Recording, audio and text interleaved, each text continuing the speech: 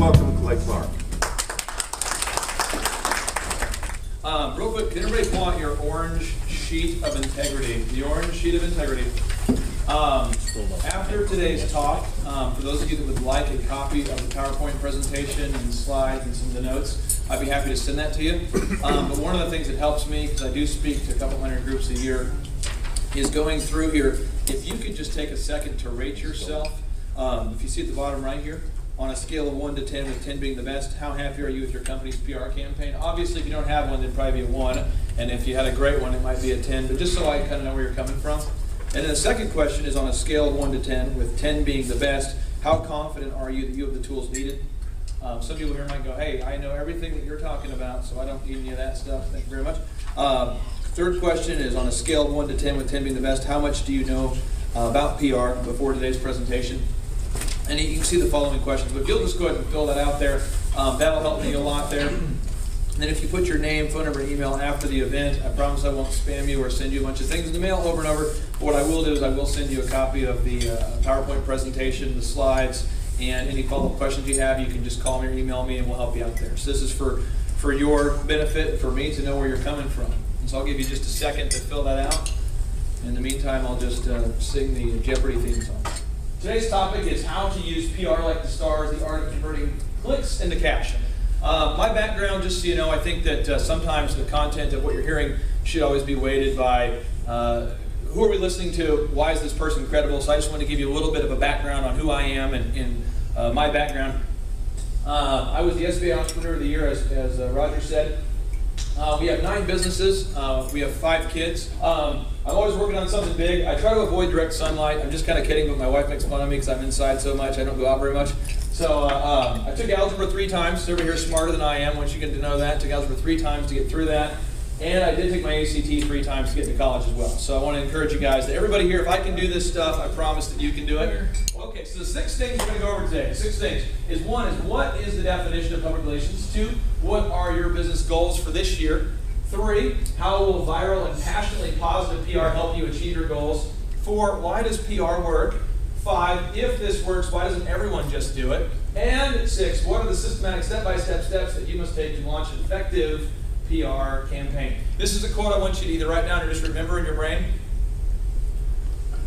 I define what I do as gift wrapping. If you package a bracelet in a Tiffany box, it will have a higher perceived value than if presented in a Kmart box. Same bracelet, different perception. Well, who here remembers the British invasion when the Beatles landed? I do not. I'm 32, so I don't remember that specifically. I've seen. The, who remembers when they landed here? Okay, true story.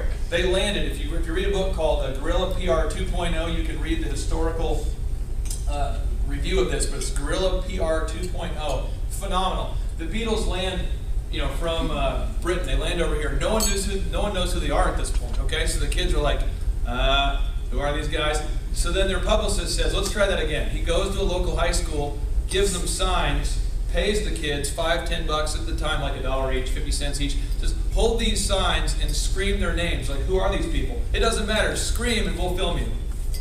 And then the Beatles, Beatlemania, they took the photos, Beatlemania group. Okay, another example, a guy by the name of Frank Sinatra. They paid someone to faint in every crowd. And then a guy by the name of Michael Jackson thought that was a good idea and paid three or four people in every crowd.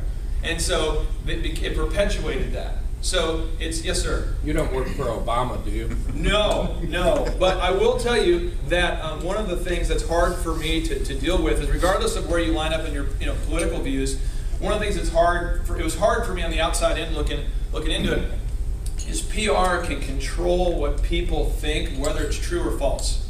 Now, I'm, I'm a Christian. Um, I, I try to do everything in a way that I want to treat people that I want to be treated. And I think a lot of us, regardless of our religious beliefs, want to do that. We want to treat people the way we want to be treated. But you could, this is like the Force, you know, like Star Wars, where you have the, you know, and you could use the Force for the good team, for the good side, or the dark side. But it works either way. And they estimate somewhere between 70 and 85% of all news is a result of a press release, PR. Somebody paid to shape your view. Over 70%. Every study says over 70%. Some say 71, some say 84. Isn't that kind of crazy though?